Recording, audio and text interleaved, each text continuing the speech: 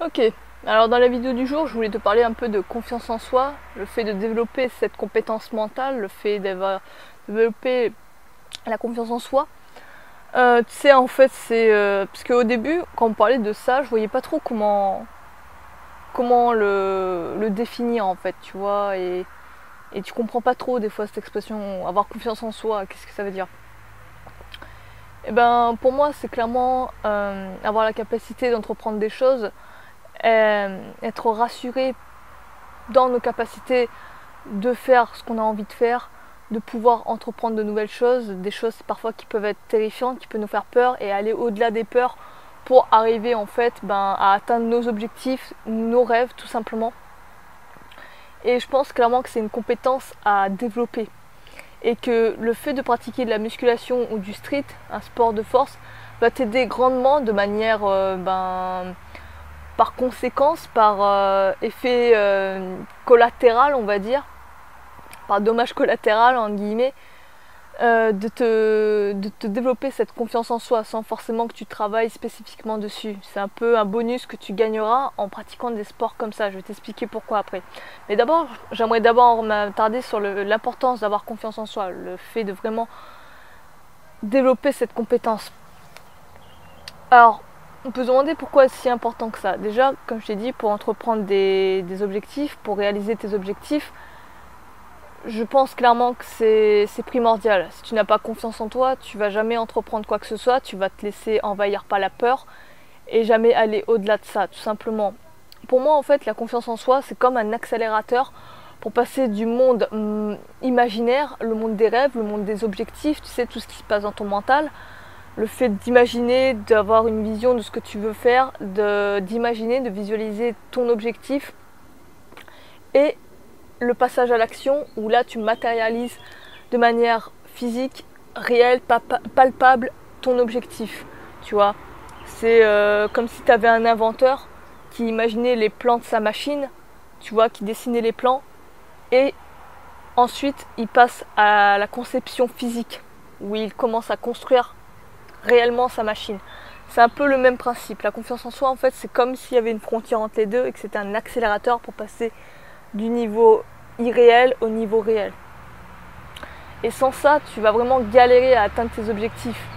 Euh, dis-moi, est-ce que tu connais beaucoup de grands entrepreneurs, de grandes personnes, de ceux qui ont réalisé de grands objectifs, qui avaient très peu confiance en eux? Je pense pas. Pour vraiment aller au-delà de ça, au-delà des peurs, il faut vraiment croire en soi, penser qu'on peut arriver à atteindre des objectifs, qu'on peut arriver à faire l'impossible en fait. C'est tout simplement croire en soi.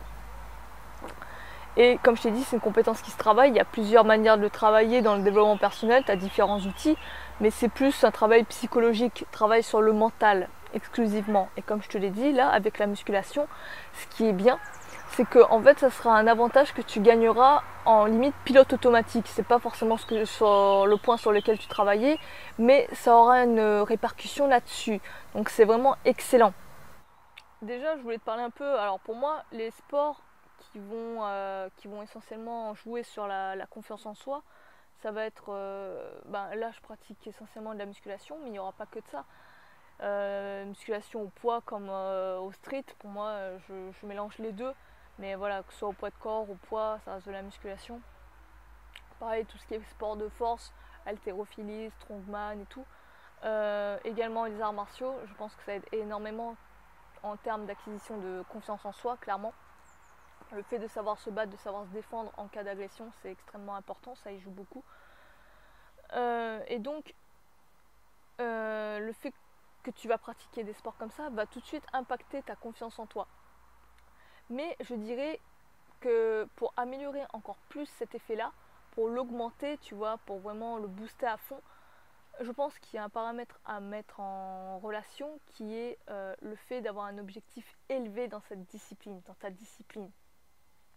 Je te donne un exemple. Imagine une mémé qui commence à faire euh, la marche rapide sur un tapis de course tous les jours. Tu vois, elle va à la salle parce que son médecin lui a dit qu'il fallait faire 30 jours de 30 euh, il fallait faire 30 euh, minutes de marche par jour pour faire perdre un peu son cholestérol, tu vois, sinon elle va choper une crise cardiaque, je dis n'importe quoi, mais voilà.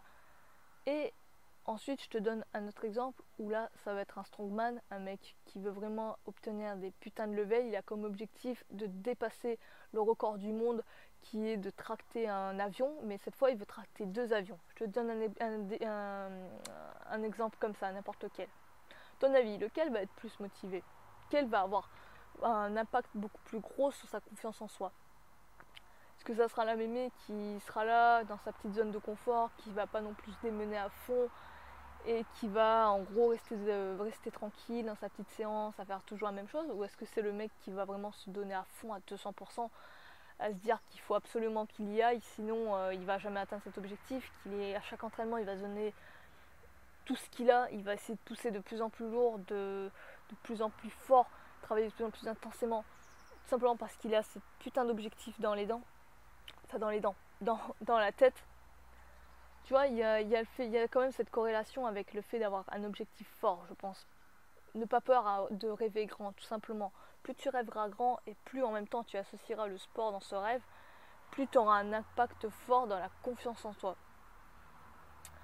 Euh, c'est le même délire avec euh, des sports de combat également. Hein. Si tu veux, euh, mais le sport de combat, je pense que ça y joue moins, moins dans le sens où tu déjà tu t'entraînes en fait à te défendre. À partir de là, tu as vraiment un plus gros impact sur la confiance en soi. Et on peut se demander aussi pourquoi il y a, pourquoi il y a eu cet effet sur, euh, sur le mental, pourquoi le fait de faire de la musculation, des sports de force, va jouer sur euh, la confiance en soi. Bah, tout simplement déjà, il y aura un impact, il y aura une modification de ton physique. Tu vas voir que ton physique va s'améliorer. Tu vas voir en fait que tu vas te transformer, tu vas devenir plus musclé, tu es un homme ou une femme, tu vas devenir plus musclé. Si tu as été obèse ou gros, tu vas maigrir. Tu auras des transformations physiques. Et en général, ces transformations physiques, ces transformations physiques sont, euh, sont bénéfiques, elles te plaisent. Tu vois, elles se rapprochent de plus en plus, elles te font rapprocher de plus en plus de ton objectif, de tes objectifs, tu vois.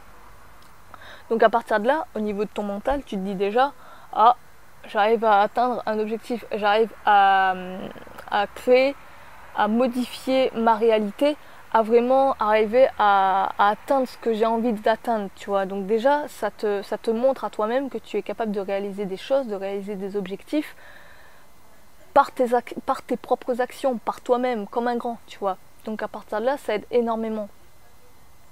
Pareil, tu vas avoir aussi des gains au niveau de la force.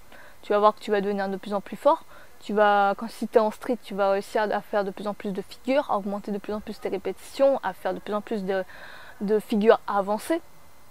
Et si tu es en salle, tu vas voir que tu vas soulever de plus en plus lourd, que tu seras de plus en plus fort. Tu le sentiras également dans la vie de tous les jours. Donc là aussi, ça y joue grandement. Tu vois, le fait d'avoir de la force, quelqu'un qui est fort physiquement, ben, il peut ne pas être fort mentalement, mais en général, il aura une plus grosse confiance en lui. Tu vois, ça y joue quand même énormément. Tu demanderas aux gens de, musculation, ça, ça fait une grosse différence en fait. Euh, et, ça, cet impact-là, en fait, va se refléter également dans ta, dans ta posture, dans ta manière de te tenir dans la vie de tous les jours. Certes, la confiance en soi est intérieure, ça se voit pas en tant que tel, mais il y aura quand même quelque chose qui montrera que tu as confiance en toi, que tu es sûr de toi. On le voit tout de suite, les gens qui ont du charisme, qui sont sûrs d'eux, ça se voit tout de suite, ça se sent dans leur manière d'être, dans leur manière d'agir. Tu les vois par exemple à la posture, tu le verras à la posture, à la manière de marcher également, de se tenir. Tu souvent les gens ils vont être dos droit, bien les épaules en arrière et tout, regarder vers l'horizon, être là fier, tu vois, vraiment être sûr d'eux. Ils vont marcher de manière énergique également, tu vois, point fermé limite, ils vont être là. Ils, sont, ils savent où aller, ils savent qu'ils vont y aller, point c'est tout, ils cherchent pas à comprendre. Alors quelqu'un qui n'a pas confiance en lui, souvent il va être recroquevillé, tu vois, il aura les épaules un peu en bas, il regardera un peu en bas, tu vois. Il va être là. Quand il marchera, il, marchera de manière euh, soit rapide, mais des pas comme s'il fuyait quelque chose, ou soit lentement, il sait pas trop où aller. Enfin, tu vois, il y a différentes manières. La posture, ça y joue énormément également. Et euh, tout ça pour te dire également, pour, euh, par rapport aux femmes, beaucoup de femmes qui ont peu confiance en elles. Alors, euh, je pense que c'est dû notamment à la société et tout, le fait d'être, euh, d'avoir eu des croyances limitantes qui ont été insérées depuis qu'on, est petit en fait. Euh, avec le fait de croire qu'on est dans un monde d'hommes et tout, il fait, ça fait que beaucoup de femmes ont peu de confiance en elles malheureusement. et n'entreprennent pas des grandes choses. Elles ont peur de rêver grand et n'ont pas tendance à rêver grand. Je vois pas beaucoup de femmes, par exemple, qui ont des objectifs de force énormissimes, qui veulent atteindre des hauts niveaux de force, qui veulent soulever euh, je sais pas combien de kilos au développé coucher et tout. Au contraire, ce qu'elles désirent, c'est plus euh, transformer leur boutique, avoir un gros cul pour plaire. Je trouve ça d'ailleurs ahurissant. Enfin, souvent les nanas elles vont rechercher ces objectifs-là. Tu regardes un peu sur les réseaux sociaux, tu vois que ça. Elles cherchent juste à avoir un gros cul, point barre. Limite, il y en a, elles veulent avoir un gros cul sans avoir les grosses cuisses. Voilà, enfin, je pense pas que ça, ça joue vraiment sur, la, sur euh, un, haut, euh, un, haut, objectif en fait. Après, elles ont tout à fait le droit, elles font ce qu'elles veulent de, leur corps, personne n'a à les juger clairement. Mais euh, moi j'aime bien vraiment chercher à viser haut, à avoir des putains d'objectifs élevés pour vraiment te pousser à te dépasser, à aller au-delà de. à vraiment exploiter le meilleur de toi-même, tout simplement. Et donc, oui, pour en revenir à ces femmes qui n'ont pas souvent, qui ont peu confiance en elles, le truc qui est marrant, c'est enfin, plus un putain de paradoxe en fait, c'est que souvent, les femmes qui, qui commencent à se mettre au sport de combat, qui commencent à faire de la musculation, qui commencent en fait de manière euh, indirecte à augmenter leur confiance en elles, tout simplement, leur assurance, tu verras que la plupart de ces nanas-là, ben, elles vont pas se faire agresser dans la rue. Souvent, les nanas, elles se mettent beaucoup au sport de combat parce qu'elles ont peur de se faire agresser, tu vois, par prévention aussi. Il y en a qui se sont fait agresser et elles veulent pas recommencer.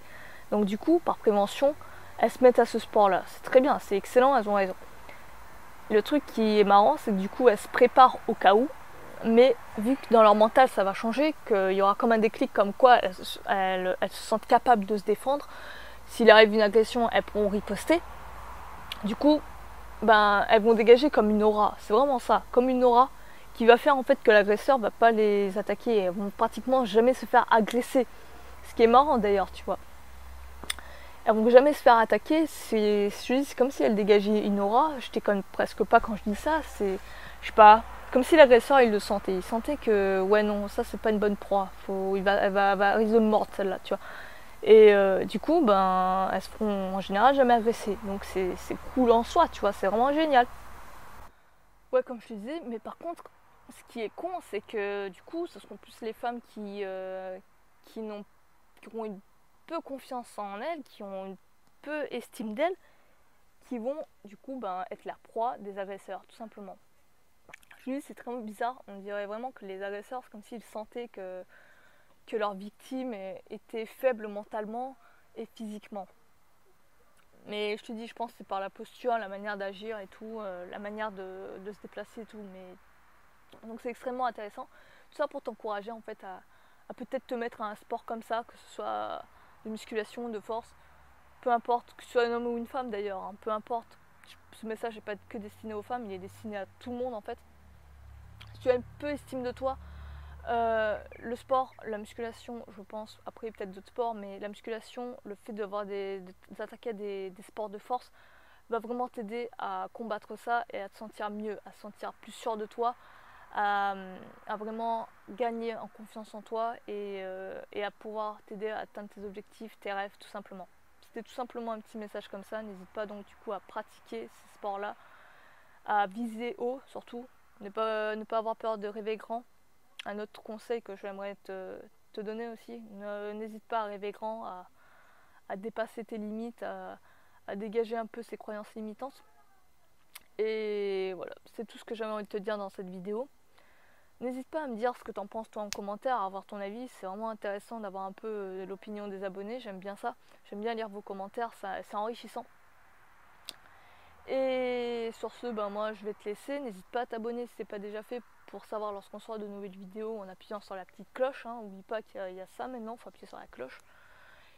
Et puis voilà, c'est tout ce que j'avais envie de te dire aujourd'hui.